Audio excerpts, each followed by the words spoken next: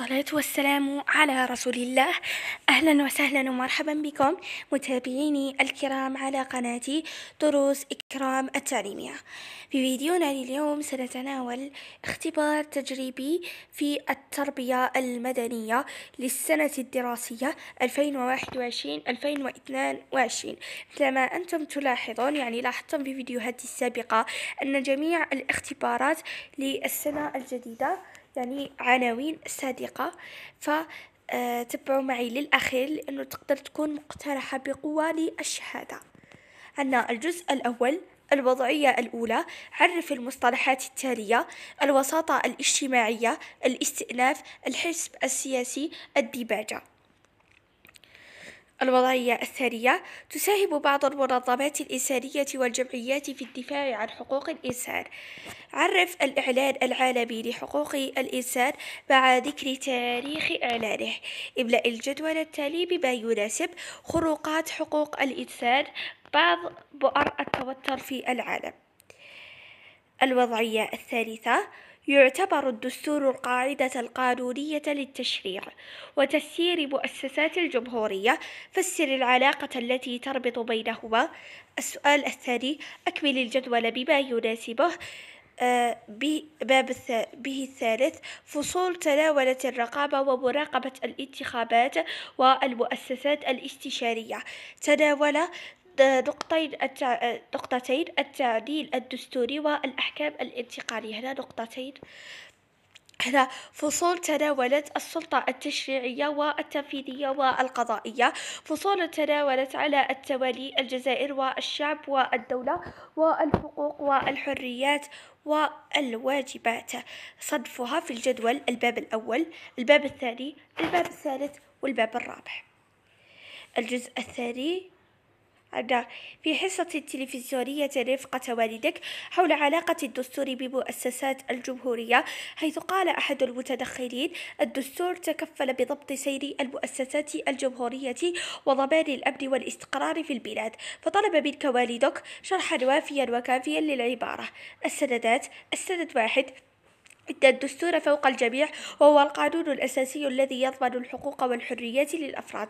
السند الإثنان يجسد رئيس الجمهورية رئيس الدولة وحدة الأمة وهي وهو حامي الدستور ويمارس السلطة السامية في حدود المثبتة في الدستور. السند ثلاثة يمارس السلطة التشريعية. برلمان يتكون من غرفتين يمارس الرقابة وإعداد القوانين وفق شروط محددة.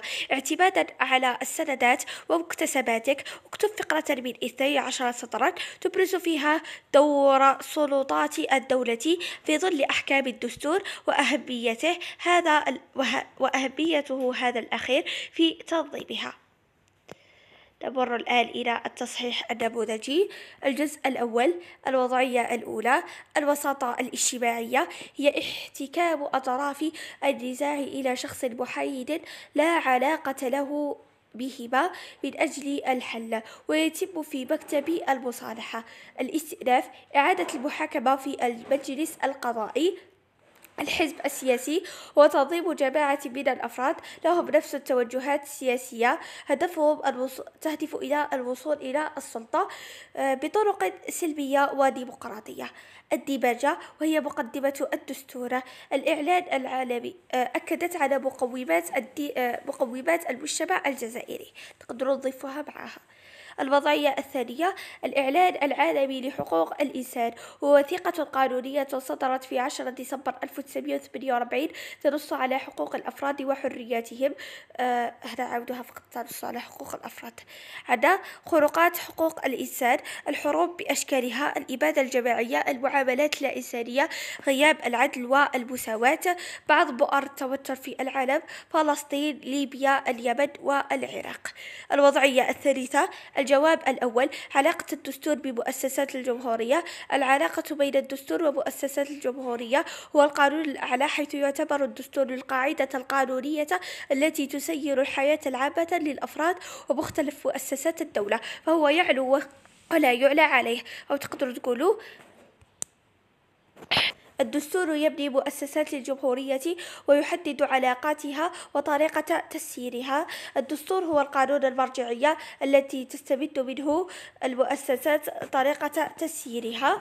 عند والدستور يحدد العلاقة بين الشعب ومؤسسات الجمهورية. تذكرهم لهم في ثلاثة. تقبل الإجابة.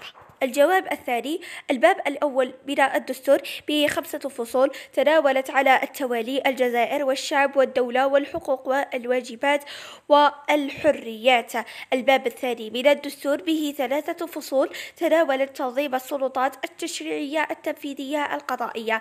الباب الثالث بناء الدستور به ثلاثة فصول تناولت الرقابة ومراقبة الانتخابات والمؤسسات الاستشارية. الباب الرابع من الدستور تناول نقطتين التعديل الدستوري والأحكام الانتقالية. الجزء الثاني الوضعية الإدماجية. لدينا المعايير الملائمة مع الموضوع كتابة فقرة من 12 سطرا. فهم التعليمات من خلال كتابة فقرة تتضمن الدستور وتعريفه والعلاقة التي تربطه بالمؤسسات الجمهورية. يعني تحاولوا تعودوا تربطوه بهذا اللي ربطتوا به سابقا. ها هي. قدامكم علاقة الدستور تحاولوا تربطوا به في الوضعية الإدماجية عنا بالمؤسسات الجمهورية عنا الاستعمال السليم بمفاهيم وأدوات المادة توظيف السندات المقترحة بشكل سليم توظيف مفاهيم ومصطلحات المادة بشكل سليم بين قوسين الدستور رئيس الجمهورية الوزير الأول الوزراء السلطة التشريعية السلطة التنفيذية والسلطة القضائية الانسجام الجانب المنهجي وضع خطة الإجابة مقدمة عرض خاتمة الترتيب المنطقي للإجابة المقروئية نظافة الورقة عدم التشطيب تميز المنتوج. إذا هذا يعطي لك عليه نقطة. إذا كل كل فقرة هي تعطي لها نقطة هذه نقطة هذه أربعة نقاط هذه نقطتين ونقطة واحدة.